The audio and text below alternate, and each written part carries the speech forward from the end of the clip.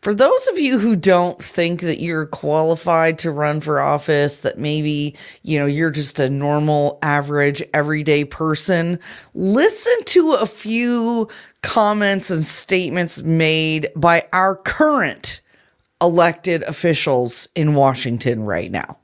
Oh, you're going to roll this one? This is great.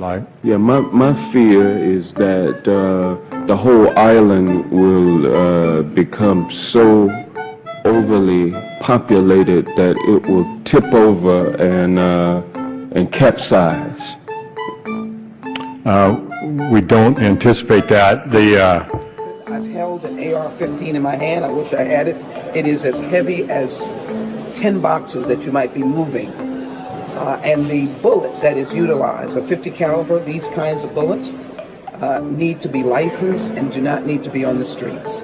And the Eagles are so much better than the Eagles.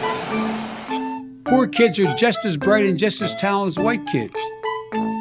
Wealthy kids, black kids. um, these folks are your elected officials, right? Oh my gosh. That's I, why. By, by the way, that's why when I say if elected, I promise not to serve.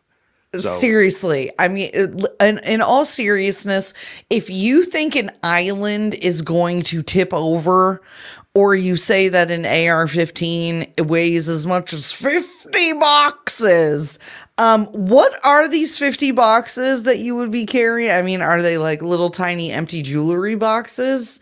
Maybe that's the same. And AR's like six pounds.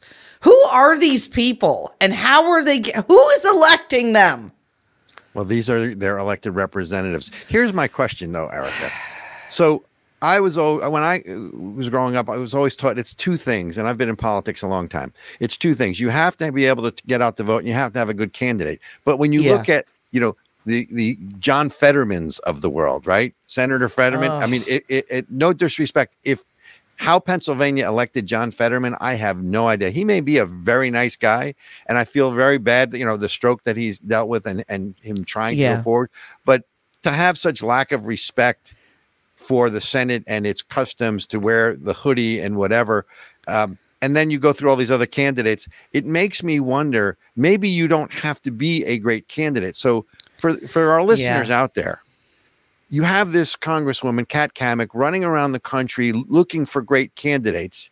And we have a plan, or they have a plan to get good candidates elected. And by the way, look at the governor's race in Louisiana. The governor elect Landry, mm. great candidate, great turnout the vote, low propensity voters, which is a whole conversation. Uh, so, yeah. So you can get elected clearly if you're not a great candidate. But any of you are thinking of running, if you want to know how to run for office, call us. Call yes. me. By the way, I'm going to do something I probably shouldn't do. My phone number is 603 892 3203. How do you like them apples? Wow. Call me if you want to run for office in New Hampshire or anywhere around the country. And yep. we will put you in touch with the right people, whether it's Congresswoman Kat Cammack or other people, because what we someone need, in your state someone in your state is people yep. who are running. I do want to go to one thing though. Under the heading of can't believe they're elected, and she's been elected like forever. So yeah. in your state of Texas, my favorite is Sheila Jackson Lee. She's the worst. No, she she's my favorite. Worst. did, did you see what? Why? Because she's so terrible. Just, wait, wait. So, by the way, we're all racist now. So she was caught on audio in a profanity laced tirade against one of her staffers. and so, so wait, I just happen to have it right here. Oh, I as you would this. expect Robert to do. Good. So, let's see where this. Um, uh, so basically, oh come on, I had it right here. It is in here somewhere. Oh my God. For those of you who don't know Sheila Jackson Lee, yeah, she represents the Houston area. She is a representative in the Houston area, so South Texas. Um, right. I'm not oh, sure oh, exactly which district. Did it, face did it. And nobody knows a god thing in my office. Okay? Nothing. I gave it to you. Your job was to get it on the calendar, imprint it in your brain, or send me the information back saying, Congresswoman, I made sure that the Ovide Duncantell event that you gave me uh, for so and so date at seven is on the calendar, not to oh Jerome has it. Okay, so when I called Jerome, he be sitting up there like a fat stupid idiot talking about uh, what he doesn't know. Okay, both of y'all are up some f. It's the worst that I could have ever had put together. Two god big children, F***ing idiots, serve no god purpose. Ain't managing nobody, nobody's respecting them, nobody gives a shit about what you're doing, and you ain't doing. I mean, I mean, I- so in in three sentences, let's see, in three sentences, there was one, It was two, mostly swearing. three, four, five, six, seven, eight expletives, right? And this woman, so what has she been elected for like 30 terms? I mean, she's been there since she's older than dirt. She's been there forever, right? Ugh. But, but come on. Now, what was her response when she was called out on this? Um, that whoever leaked it is a racist. You got That it. You got it. because she's a strong black woman Right. that Right. she's being targeted. She's only being targeted because of her race and her gender. what? Just, well, um, I, you know, so you just sit there and you go, if these people can be, I mean, these are your elected representatives, folks. No, we no have to be able to do better than this. Yeah. Yep, yep. No no accountability, no sense.